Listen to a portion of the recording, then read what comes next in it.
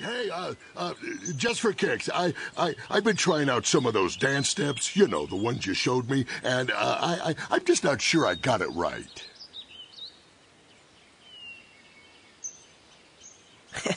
Well, you're right about one thing. Y- y- you don't got it right. Look, your left foot goes behind your right, like this.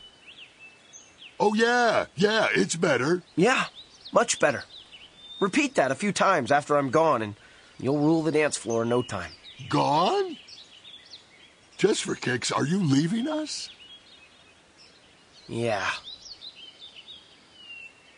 Hey, Justforkix. Hold on a sec.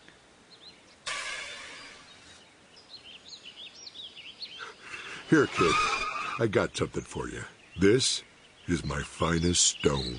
I was planning to give it to you as a graduation present, you know, when you became a warrior. But you can have it now. You can keep on training with it back home if you want. If you try to lift it every day, I'm sure you'll make it. Yeah. I don't think so. It's impossible.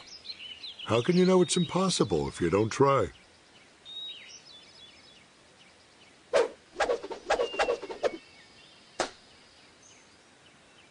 What are you doing? You're encouraging him to leave. It's his own decision to make. No, it isn't. No, it isn't. What about our promise to Vitalstatistix? What about the honor of the village? We can't force him. It isn't right. Well, it's not right to.